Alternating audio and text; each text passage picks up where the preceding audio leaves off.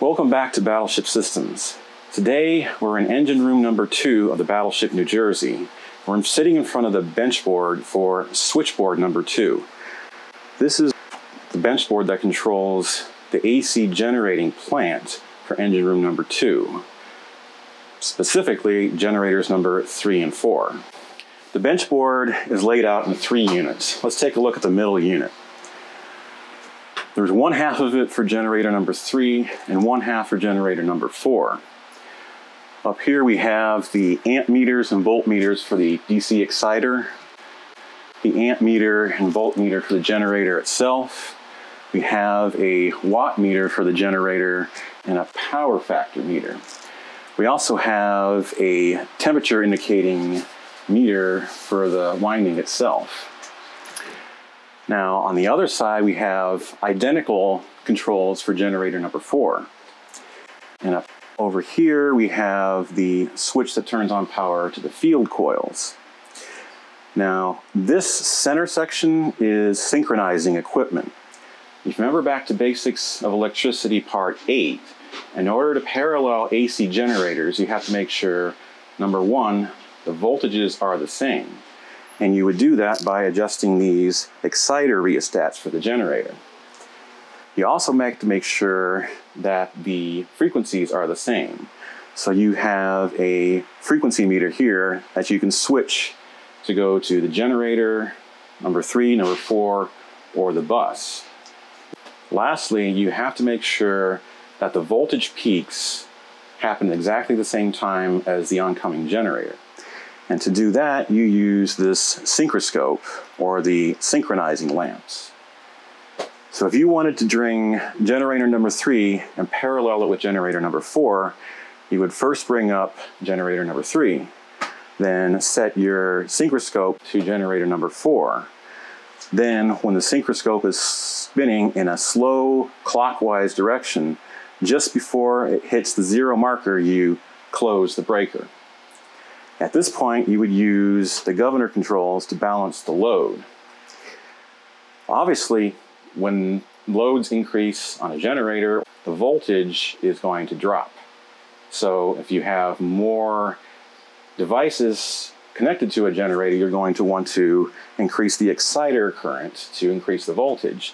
Then as devices turn off, you have to shut it down and cut in more resistance.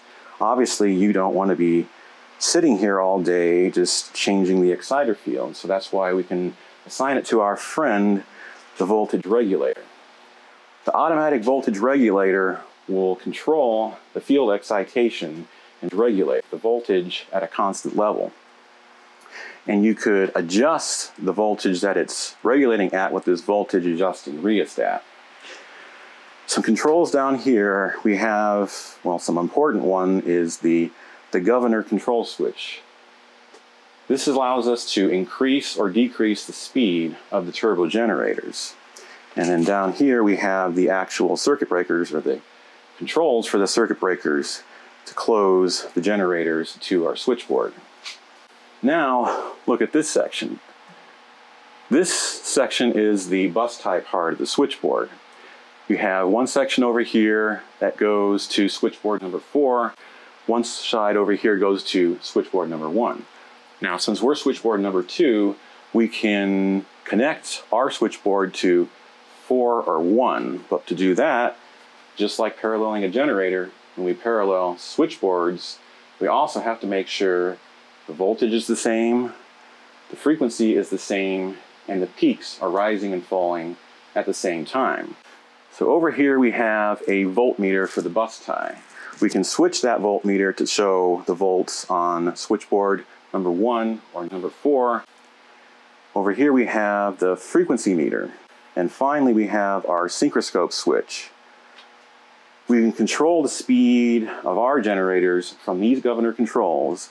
Then when the synchroscope is spinning slowly in a clockwise direction just before it reaches the zero, we close the bus tie.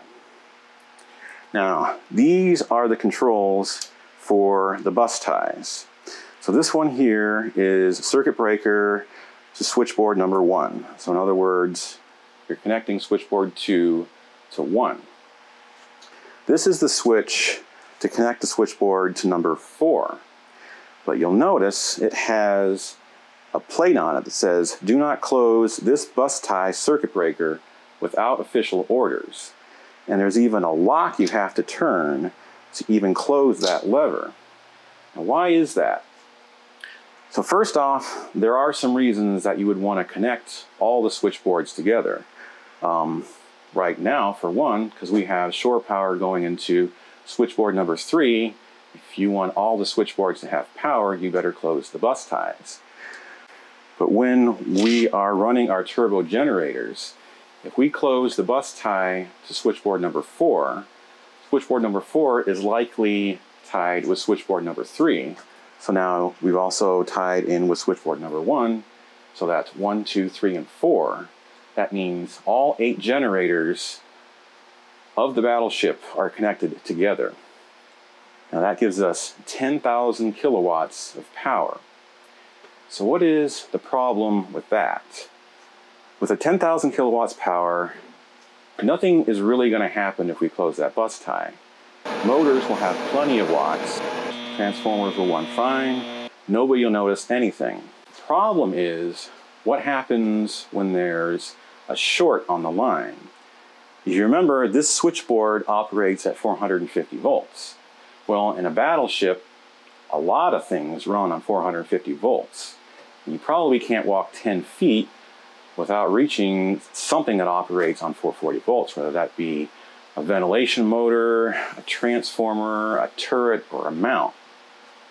That means that every generator on the ship is connected to every 440 volt circuit. Now, what happens if there's a fault in one of these circuits? Now, I'm not talking about a ground fault. So over here are the ground detector lamps. On the episode we did about ground faults, I built a ground detector lamp based on that wiring diagram. And we noticed that when you ground one of the wires, all of the other lights get bright and the phase that has the ground gets dim. And if you watch that episode, you and I both know that a ground fault in an ungrounded system is nothing. It doesn't even spark. What happens if two of those wires get grounded? Or what happens if somebody throws a wrench inside an electrical panel or something shorts out in a motor? What you have is a bolted line to line short circuit. So, what does this mean? You got to put yourself in the perspective of an electron. If I'm coming out of that generator and I'm deciding where to go, do you think I'm going to go to your high impedance load, your motors, your transformers, or am I going to go where everybody else is going to that fault? Remember, I'm an electron, I'm Mr. Negativity. My sole purpose in life is to get where there's a lack of electrons. Obviously, I'm going to go to that short. Now, we're talking a bit of a traffic jam here. With all those electrons converging at a single point, you generate a lot of heat. And that heat eventually melts whatever it is that is creating that short. Think of it as the bridge has burned down. But we're electrons. We don't care that our bridge is burned down. We need to get to where we're needed, and we'll just fly through the air. And so an arc is formed. The arc acts as a wire which conducts the fault current.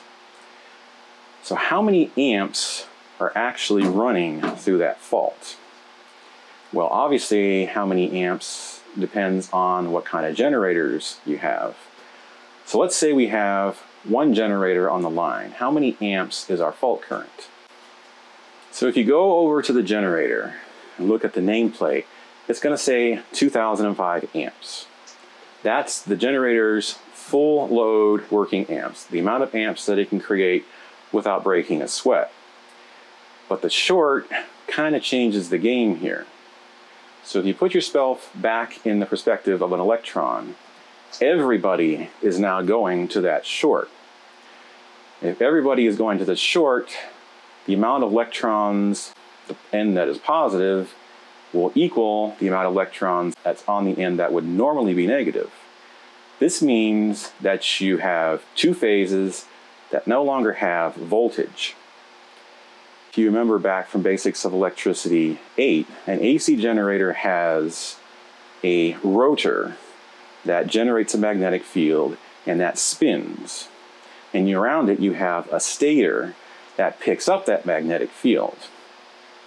Since the ship service system is running through that stator and it has a voltage, the stator will also generate a magnetic field that opposes the rotor's field.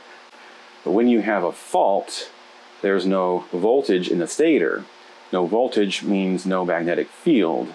And so now the rotor's field will cut through the stator like it never has before. When that stator field collapses, we enter what is known as the subtransient phase of the fault. Since the stator is no longer producing a magnetic field, the rotor's magnetic field runs unopposed. This creates a surge of current. It's usually 6 to 18 times the generator's rated load. Now, as somebody who has failed calculus, I'm not going to go through the math to figure out what the actual short circuit current is, but I've been told for one of these generators, it's about 22,000 amps. Now, luckily, we have circuit breakers. These devices will sense the inrushing current and trip. They will open up their contacts, which the electrons won't like. Again, they'll create an arc, but they'll open wide enough and they're designed to extinguish the arc to stop the flow of current. But even if they didn't, the subtransient stage only lasts for a short period. Eventually we enter what is known as the steady state phase. The current at this point is about three to eight times its rated load. And don't forget about our friend, the automatic voltage regulator. When it sees that massive drop of current, it's going to automatically cut out all the resistance to that field coils. It's going to make this generator produce 7,750 amps. That's with one generator on the line. What if we had four generators on the line? That's going to make our short circuit current 40 to 60,000 amps. These circuit breakers are also designed to break that kind of current. But what if somebody went over there and closed the circuit breaker tying number two to number four. That means we will have eight generators on the line. The short circuit current for eight generators is between 80 to 130,000 amps. With that kind of amperage, you don't get a spark or an arc. You get an explosion. The plasma burst will vaporize anything in the vicinity and blow the cover off of any electrical devices, endangering people in the vicinity, possibly even rupturing bulkheads, definitely starting fires. Suddenly the ship gets very dark because there's no more voltage for any of the devices. All the generators are now shifting their energy into that fault. The circuit breakers will trip, they'll try to break the flow of current, and they will fail. At that amperage, the contacts don't open wide enough to break the flow of current. So now you have a situation where you have so many amps flowing through the wires that they will start to melt. But it's not the end of the world. The manufacturer, Westinghouse, specifically states that this is designed to withstand a short circuit event. And even if the wires do melt, you have these manual bus transfer switches to where critical systems can get their power from different circuits. Here also, there's a possibility that the circuit breaker for the generator will be able to trip and stop the flow of current in this event. But all this because somebody flipped a switch on that switchboard.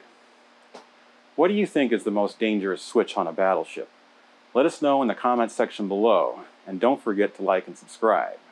The ship service system is a battleship system. There are four switchboards, and each switchboard carries current for that section of the ship. We're in switchboard number two, which is kind of forward in the ship. And one of the big consumers in the forward action of the ship is turrets one and two. We've got two big breakers down there to supply power to that. So a lot of times we're going to be sharing the load with another switchboard.